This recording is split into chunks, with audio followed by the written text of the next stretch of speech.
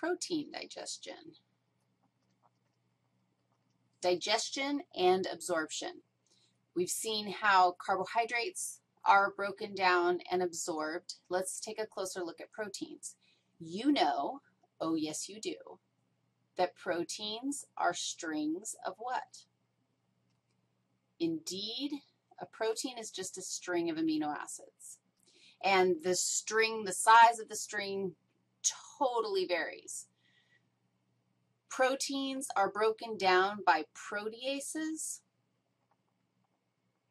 like pepsin in the stomach.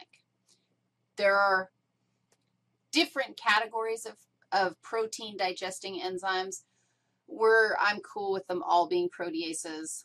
Uh, the, the bottom line is that this group of protein digesting enzymes break the proteins down into either individual amino acids or dipeptides or tripeptides. So you've got this string of amino acids that maybe started out being thousands of amino acids long, and that is a functional, you know, meat protein or whatever. And these proteases or protein enzymes work together to break those proteins into amino acids, single amino acids, or groups of two amino acids or groups of three amino acids. Allow me to show you what happens inside the cells of your, uh, your epithelial cells. Once more, don't be disillusioned or distracted by my um, strangely shaped cell. I'm doing this just so I can fit everything in.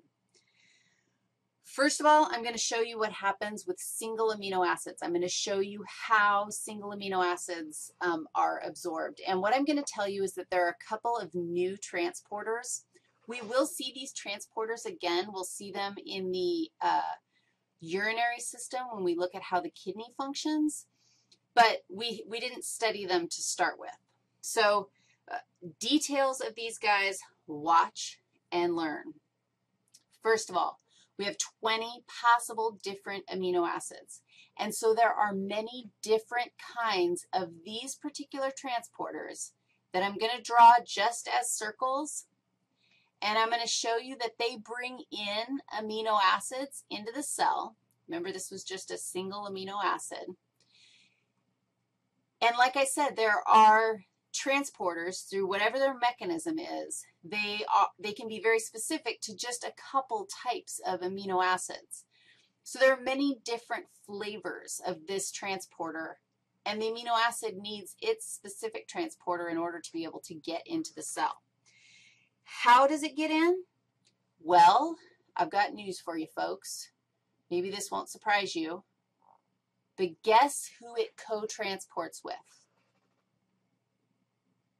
Sodium. That doesn't surprise anybody, does it? How do we have a sodium gradient in this cell? You know it's true.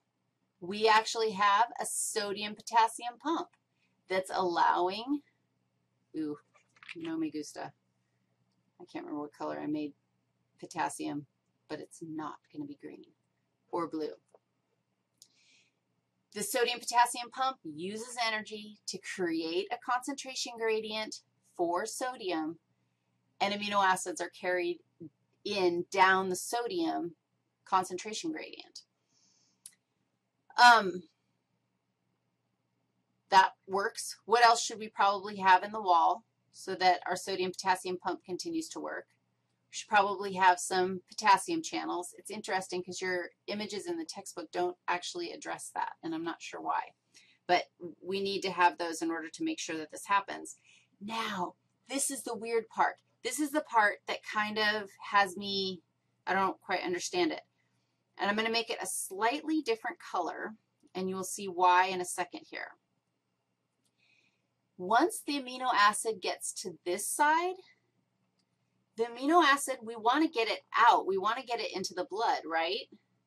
But how, who's going to transport it? Here, we co-transport it in. This is the weird part that I don't quite understand. But look who anti-transports to get it out. How weird is that? So here, sodium comes in because of the sodium-potassium pump, and when it comes in, it brings in the amino acid using this awesome transporter. Thank you very much. Then we pump the sodium out with the sodium-potassium pump. A new transporter allows sodium in down its concentration gradient, but still is able, it must be a different mechanism, different structure of protein, because now it pumps the amino acid out. That is, I want this transporter to work the same on both sides. You can see why it wouldn't work the same on both sides. You can see why, you know, that's not going to fly.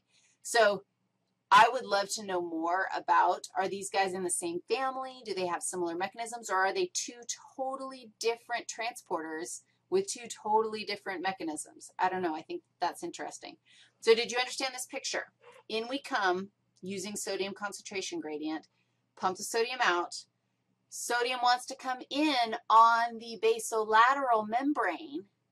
And so we've got transporters in there that let the sodium in Again, this time the amino acid gets pumped out while sodium comes in, and then we get our amino acids into the bloodstream like we wanted. That's one mechanism. if we want to get in dipeptides or tripeptides, we actually use hydrogen ion concentration gradients.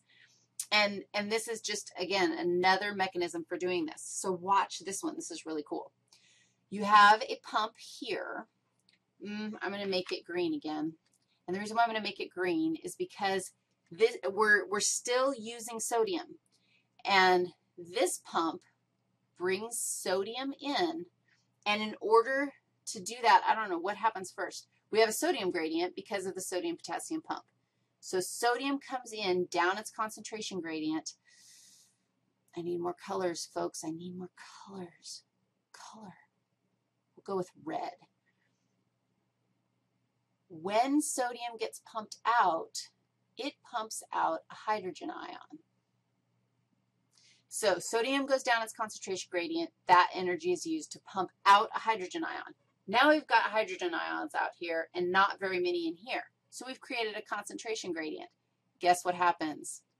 We're actually going to allow that guy back in, but in order to get back in, we're saying, dude, you got to do a little bit of work for us. If you want back in, you're going to have to bring one of these dire tripeptidase tri peptides. You're going to bring those guys in. We pump the hydrogen ion out.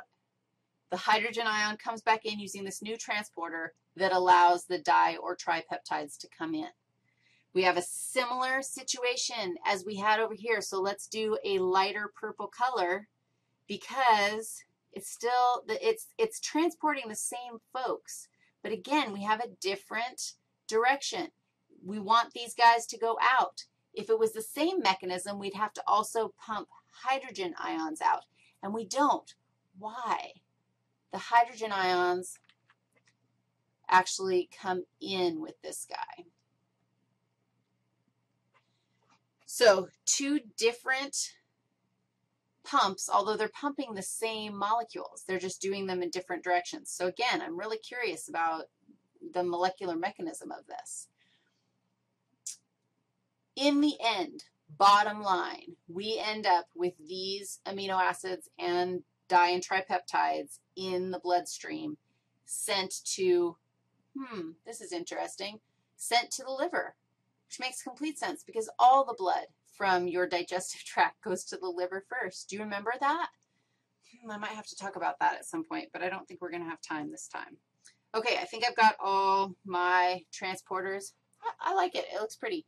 You might want to write about it and clarify who's going where and why.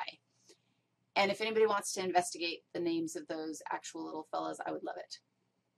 Fat. Fat in the house. Let's go.